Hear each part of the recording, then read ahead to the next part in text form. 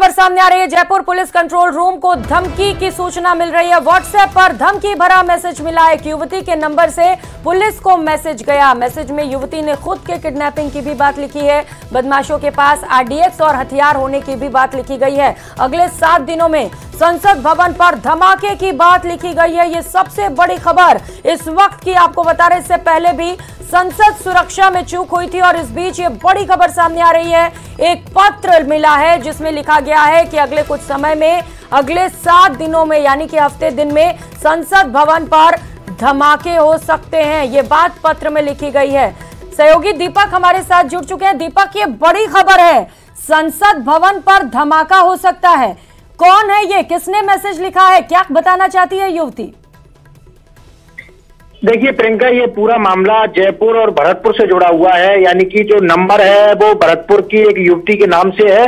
लेकिन जयपुर के जो पुलिस कंट्रोल रूम है, उसके नंबर पर ये मैसेज किया गया है। उसके आधार पर जयपुर की पुलिस ने भरतपुर की पुलिस को सूचना दी। भरतपुर की जो पुलिस है, उस पूरे मामले में जुटी। तो बताया गया कि मथुरा गेट थाना इलाके की युवती रहने वाली है। लेकिन जब इसे पूछताछ की गई तो इसने बताया कि ये जो नंबर है इस पे कोई दूसरा व्यक्ति ऑपरेट कर रहा है जो व्हाट्सएप चला रहा है उस नाम से और वो उत्तर प्रदेश में बताया जा रहा है।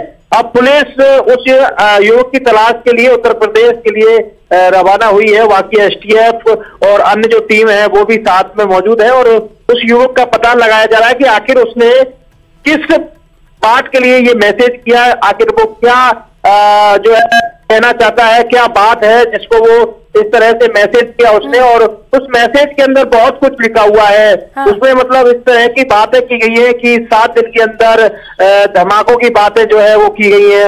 यानी कि एक बड़ा ये पूरा मामला है लेकिन पुलिस ने कहा है कि हो सकता है कि वो मंद बुद्धि युवक हो या फिर इस तरह का कोई मामला हो। फ़िलहाल भरतपुर और जयपुर सहित यूपी की जो पुलिस है वो इस पूरे मामले में जाँच कर रही है लेकिन अधिकारियों ने बताया कि ये पूरी तरह से एक फर्जी कॉल का जो है वो मामला है कि हम्म। दूसरे युवक ने दूसरे एक युवती के नंबर से और जयपुर पुलिस का जो कंट्रोल रूम का नंबर है उस पर मैसेज किया। यानी कि वो हो सकता है वो युवक उस युवती को फंसाना चाहता हो। इस पूरे मामले में अब पुलिस जाँच कर रही है। पुलिस का कहना है कि जल्दी इस पूरे मामले का खुलासा कर दिया जाएगा। मैसेज के पीछे सच्चाई क्या है ये जानना भी बेहद ज़रूरी है। दीपक सहयोगी विष्णु भी हमारे साथ जुड़ चुके हैं। आप भी बने रहिएगा हमारे साथ। विष्णु ये मैसेज सबकी नज़र इस मैसेज पर टिकी है क्योंकि कुछ ही समय पहले संसद सुरक्षा में चूक भी हुई थी। कुछ जानकारी मिल पाई है क्या इस मैसेज को लेकर? विष्णु।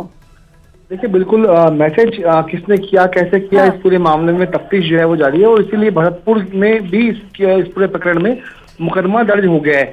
लेकिन अब तक जो युवती है चूँकि पुलिस जो है मोबाइल नंबरों के आधार पर व्हाट्सएप नंबरों के आधार पर लड़की तक जब पहुँची तो लड़की ने कहा कि उसने किसी भी तरीके का कोई मैसेज नहीं किया और पुलिस की जाँच में ये बात साफ़ भी हो गई कि लड़की की ओर से मैसेज नहीं किया गया हाँ। उसके बाद में लड़की ने जब बताया कि उसका बॉयफ्रेंड यानी जिसका परिचित जो युवक है हाँ। वो इस मैसेज को कर रहा था तो उसके बाद यूपी की जो उसकी लोकेशन जो है उस नंबरों की लोकेशन वो यूपी में जब आई तो उसके बाद में भरतपुर पुलिस और उसके अलावा यूपी की जो एसटीएफ की जो टीम है वो उस युवक की तलाश में जुटी हुई है जिसने ये संभवतः मैसेज किया है अब मैसेज करने का जो उद्देश्य है वो अभी तक फ़िलहाल पुलिस की जो है पड़ताल में सामने नहीं आया लेकिन अंदेशा यही कि संभवतः लड़की को किसी न किसी वजह से फंसाने की नीयत रखते हुए इस मैसेज हम्म। को उसी नंबरों से जयपुर पुलिस कंट्रोल रूम को मैसेज किया गया लेकिन जब कल ये मैसेज पुलिस कंट्रोल रूम को कहा किया गया और कहा गया कि अगले सात दिनों में यूपी में अयोध्या जयपुर उसके अलावा दिल्ली की जो बड़ी जो इमारतें संसद भवन है उनको उड़ा दिया जाएगा बमों से। और एक लड़का है जिसके पास आरडीएक्स है।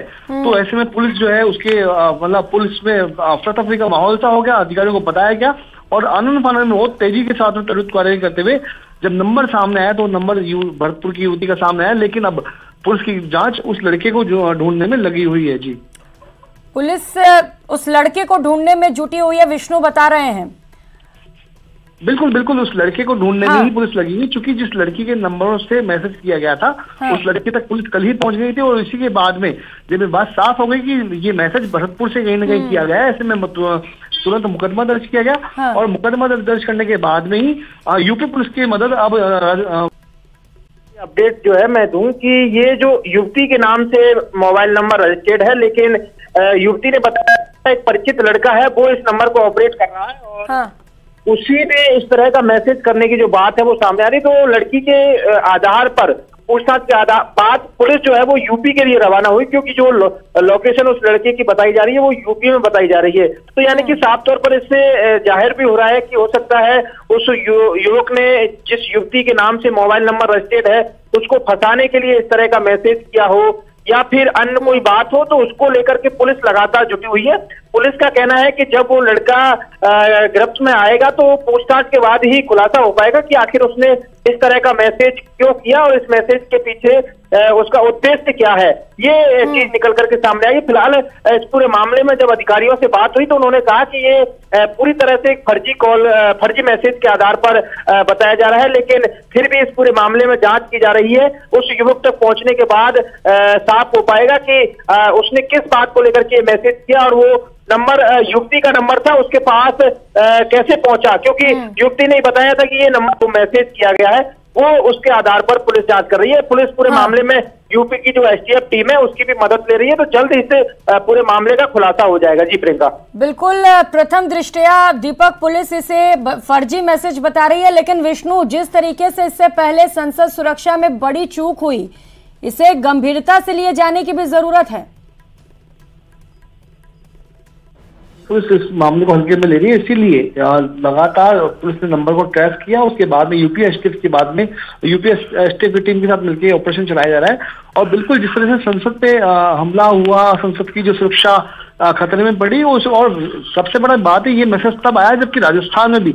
नई सरकार बनने के बाद विधानसभा चल रही थी, कल विधानसभा का दूसरा दिन था, जबकि विधायकों को शपथ लेना था। और उसी बीच में संसद भवन, उसके अलावा अयोध्या और जयपुर में ये धमाके करने की बात आरडीएस के ज़रिए इस मैसेज में की गई। अब तक की बात खास बात ये और है कि जहाँ अब तक ऐसे मामलों में यदि कोई धमकी भरे फ़ोन आते थे पहला बार ऐसा है कि मैसेज किया गया। यानी कि जो जयपुर पुलिस की हेल्पलाइन नंबर व्हाट्सएप नंबर है उन पर मैसेज के ज़रिए ये धमकी दी, दी गई है। साथ में बताया गया कि लड़के जो हैं वो आरडीएक्स लेकर के घूम रहे तो बेहद गंभीर ये पूरा मामला है और कहीं ना कहीं पुलिस आने वाले वक्त में इस पूरे मामले का खुलासा करते हुए आरोपियों की गिरफ्तारी भी कर लेगी जी। अ, बिल्कुल पुलिस जल्द ही इस मामले पर खुलासा भी करेगी। वो खबर भी हम दिखाएँगे लगातार न्यूज़ 18 राजस्थान पर। लेकिन दीपक एक युवती की किडनैपिंग वाला एंगल भी इसमें दिखाया जा रहा है जो मैसेज में लिखा गया है। इसे लेकर पूरा मामला क्या है कुछ पता चल पाया है क्या? और चूँकि लड़की भरतपुर की है उसने कुछ बताया है युवक के बारे में और कुछ? देखिए जैसे ही जयपुर की पुलिस ने भरतपुर पुलिस से संपर्क किया तो ये मथुरा गेट थाने का पूरा मामला बताया जा रहा है। उसके बाद में जहाँ मथुरा गेट जो थानाधिकारी हैं, उनसे हमारी बात हुई तो उन्होंने कहना कि पूरे मामले की जाँच जयपुर पुलिस कर रही है। जयपुर पुलिस ने ही युवती से पूछताछ की है तो युवती ने यही बताया कि ये जो लड़का है वो परिचित है उसका और अ, कोई प्रेम प्रसंग का मामला भी इसमें निक, सामने निकल करके आ सकता है। अ, कहा नहीं जा सकता लेकिन प्रथम दृष्टि बताया जा रहा है कि पूरी तरह प्रेम प्रसंग का मामला हो सकता है और जिसकी वजह से कोई आपस में इनमें अनबन हुई और उसकी वजह से जो लड़का है वो युवती के खिलाफ इस तरह की जो मैसेज करके और एक कोई उद्देश्य क्या है उसका ये तो उसको गिरफ़्तार करने के बाद ही पता चलेगा। लेकिन अभी इस पूरे मामले में पुलिस जुटी हुई है। भरतपुर से जुड़ा हुआ पूरा ये मामला था तो उसके बाद भरतपुर पुलिस भी पूरे मामले में एक्टिव हुई। पुलिस अधीक्षक मृदुल कचावा ने सभी को निर्देश दिए कि इस पूरे मामले में जल्द से जल्द कार्रवाई की जाए। तो उसके बाद उस जो युवक है उसकी लोकेशन यूपी की तरफ़ निकली उत्तर प्रदेश में तो वहाँ पुलिस गई हुई है। जैसे ही वो हाथ लगेगा उसके बाद पूछताछ की जाएगी खुलासा किया जाएगा पूरे मामले का ठीक। है तो आप दोनों सहयोगी नज़र बना रखिएगा, क्योंकि यूपी एसटीएफ से लेकर जयपुर पुलिस और भरतपुर पुलिस की ओर से भी